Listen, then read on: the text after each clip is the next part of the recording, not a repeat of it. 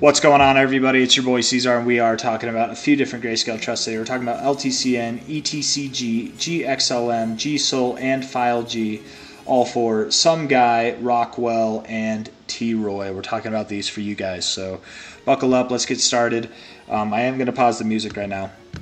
I'm going to try to do these a little bit quicker because I have talked about all of them relatively recently, right? Um, yeah, LTCN having a bit of a a time and a half, isn't it? It's being very resilient right now. Um, you are at a point where it, it would kind of make sense for you to turn around, but that's a nice day that you had there to close the week. Um, you did close the week red, but not not terribly. You did close it red. You did close it red. Okay, so I think you are destined for 1575. 1575. If you go higher from here, it's not going to be by much. You could break this high, but it's not going to be by much. 1575 is where you're going before you go higher. LTCN, really easy. That's my thoughts on that. Uh, ET, we'll even talk about BCHG. Um, even though I don't have it as anybody requested it, but I'm sure somebody did, and I just didn't write it down because I only do two requests per person per day. But we'll talk about it. We'll talk about it still.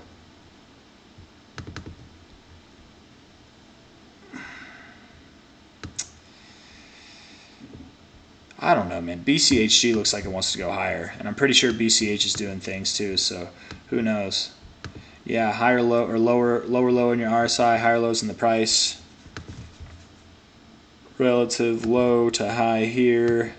I don't know, man. You you could go lower too. You could pull all the way back to seven bucks, but for now, it looks pretty good.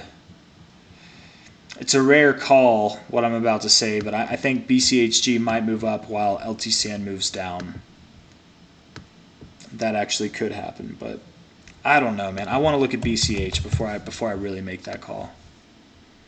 Okay, maybe I was wrong. Yeah. Yeah, BCHG might move down too. Yeah.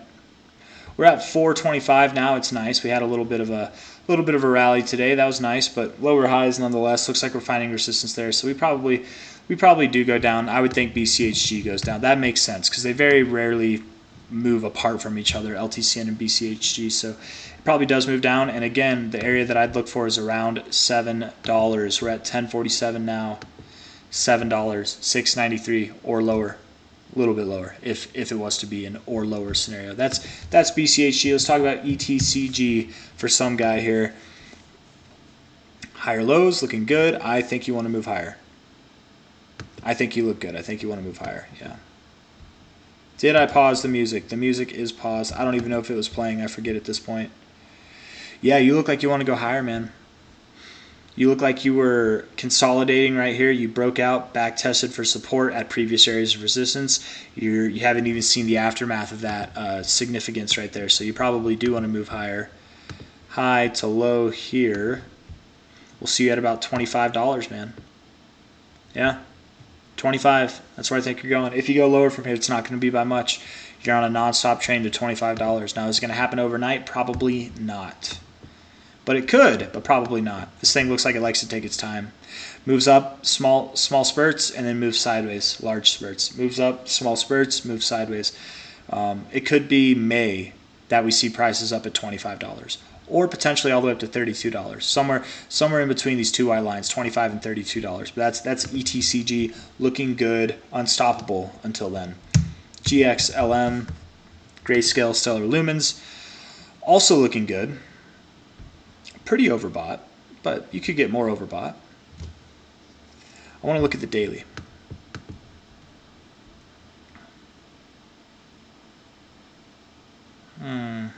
I wish you had volume. I wish you had more volume. I think you want to go lower.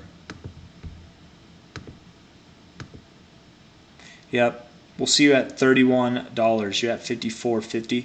If not 31, then maybe 36 or revisit that $41 area, but double bottom here, I would think that you do go lower. Let's look at the 3 hour real quick. Yeah, I'm I'm not impressed by the volume, man that things can change, but my expectation at this point in time, yeah, would be that you're going at least to 41, if not all the way down to about 31 or somewhere in between. That's GXLM. GSOL. goal, G Soul. There we go. Um, all right. Still have that symmetrical triangle look, kind of. Once you break, we'll know, but you haven't really done that yet. So you've got this kind of like that. That that was a horribly drawn first line there. Something like this, and then something like this. When you break, we'll know. Is it going to be up? Is it going to be down? I don't know. If it goes down, maybe you find a double bottom, maybe you find a slightly lower low, maybe you find a slightly higher low. If it goes up, well, you'll probably see prices around $700 or higher. Um, but for now, we're waiting. We're waiting till next week. So nothing really. If I if I had to guess, if I had to give it my best assumption, I would say I, it looks like it would break to the upside. But everything about this screams consolidation, right? Look at look at it, right? You can see you can see the symmetrical triangle look, right? The descending highs, the ascending lows. The volume is dying off when we break out, which will be next week. It'll it'll either be on Monday or probably by Wednesday. We will break out either up or down.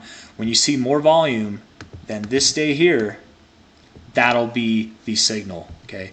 If you get a move up like this and it's less volume, you get a, you get less volume. Don't get excited. You could you could continue higher, but you just as well could also break down. You know, symmetrical triangles, wedges, they're known for fake outs. So be aware of that. Same thing if you break down. If the volume's not impressive, don't be don't be scared, right? And next week, I mean, you could you could go down here, and that still looks fine on this uh, triangle. So you could move. You're at 395. You could move all the way down to 330, um, and still be fine. So don't be scared. Be prepared. But when the volume comes in, when we take out that volume when we're higher than that volume in whatever direction we choose, that will be the conviction that I'll need to, to dictate if we're moving lower or higher. For now, we're at 395. We could move as low as 330 and still be fine. However, if we move up too much higher, if we break like 420, I, I think it's on to the upside. But we need volume to back it up. So that's that's G Soul, file G here. This one is impossible, man. I don't even know why I talk about it because it's it's honestly really hard. I know why I talk about it. You guys request it. I don't mean it like that, okay? I just mean like it's it's such it's such a headache to look at. Uh, accumulation phase of a lifetime for Filecoin.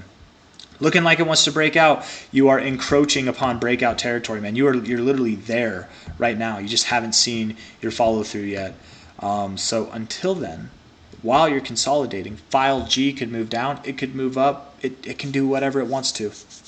Um, let's look at the daily real quick for file. Filecoin looks like it wants to go lower.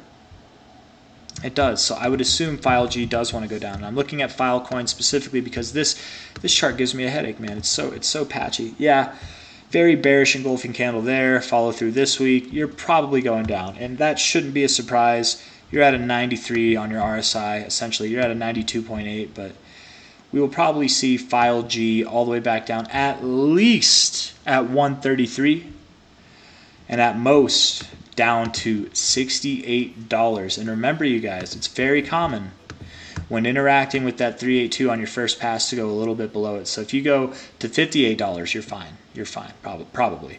Um, you could go lower. You could go to your 0.5. You could go all the way back down here as well.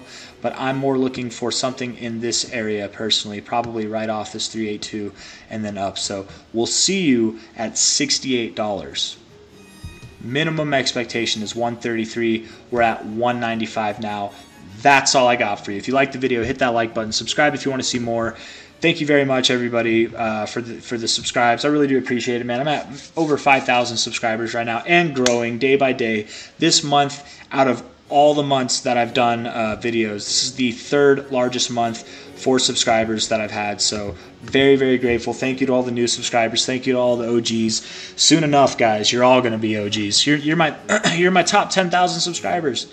I remember when I had this video or I, I had this uh, discussion like a year ago, and I was like, "You guys are my top 100 subscribers." Like, and those those guys are the OG OGs, man. Like Ethan Ethan Gallstead. I know a lot of you guys who who watch the grayscale uh, videos. I forget if he was in the top 100. I know he was at least in the top 200, but he was he was early early man, and uh, you know I I know that there's some other uh, OGs as well. I'm not going to go through and shout everybody out, but I don't I don't know every single person that was in the top 100 or top 200. I do appreciate appreciate all of you guys.